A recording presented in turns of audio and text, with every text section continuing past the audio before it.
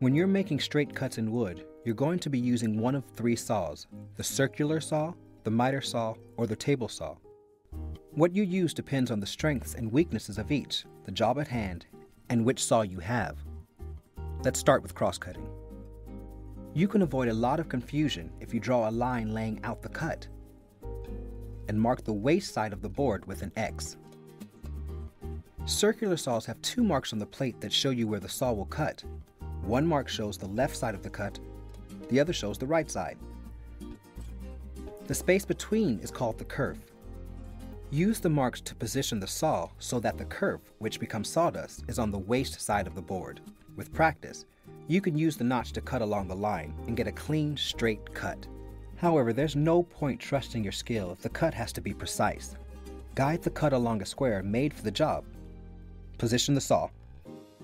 Then put the square's fence against the edge of the board and slide the square against the base plate of the saw.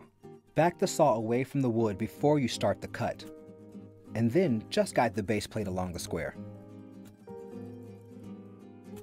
A miter saw gives you perhaps the cleanest and truest of all cross cuts. However, before you rely on it completely, make sure the cut it makes is truly square. Slowly cut through a board. You'll get a much cleaner cut. And when the blade stops, flip one of the pieces over.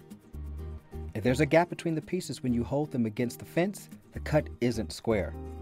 A simple adjustment described in the owner's manual will bring the saw into alignment. Despite its accuracy, the miter saw has one major drawback width of cut. A 10 inch saw can cut boards up to 6 inches wide. A 12 inch saw can cut boards up to 8 inches wide. For cross cutting wider boards, you'll want a table saw.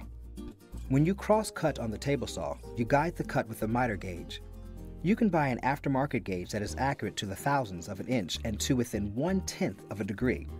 But you can also use the gauge that comes with the saw with pretty much the same results. You'll need to add two things to your miter gauge for best results. First, screw a wooden fence to the head of the gauge. This gives you a long edge that is more accurate when setting angles and provides more support when cross-cutting. Secondly, clamp a stop block to the fence so that once the block is in position, it keeps the board from moving sideways during the cut. Even minor movement will result in a cut that's not square. The block not only stops movement, but also assures that every cut you make against it will be exactly the same length. For best results, cut one end of each board, set the stop, and cut to the length at the other end. Once you're set up, set the miter gauge to zero, the setting for a square cut. Make a cut, turn off the saw, and test for the square the same way you did on the miter saw. Flip one of the boards over, put them both against the fence, and look for a gap where they meet make any necessary adjustments, and reset the pointer so it points directly at zero. If the stops built into the miter gauge keep you from getting to the right setting, loosen them as described in your owner's manual. Equally important is the stop that automatically positions the miter gauge at 90 degrees. On this saw, it's a screw that strikes a pin. Once you've got the miter gauge cutting a true 90 degree angle, adjust the screw so that it's against the pin Next time you change the angle of the cut, you'll be able to set it back to 90 degrees just by turning the head of the miter gauge until it stops. When it comes to miters, both the miter saw and table saw are far more accurate than anything you could produce by trying to guide a circular saw along a pencil line.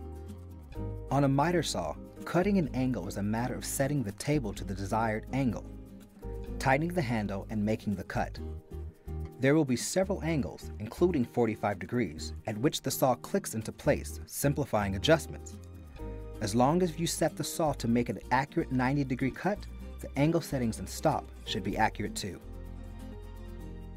You may have to do a bit more fussing around on a table saw. Set the miter gauge to 45 degrees with a drafting triangle. It's the cheapest, accurate tool for the job. Make sure the triangle is against the body of the blade and isn't touching any of the teeth. Test the setup by cutting through a board at the 45 degree setting and flipping one of the boards over to form a corner.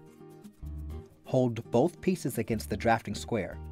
A gap in the joint means your setting is still a little bit off.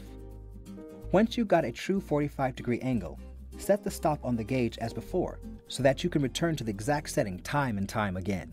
If the indicator points to 0 on a square cut and 45 on a 45 degree cut, You can trust it to be reliable at any other measurement too. However, because it's possible to be a fraction of a degree off the setting without knowing it, you always should cut a few test pieces to make sure you've got the exact angle you want.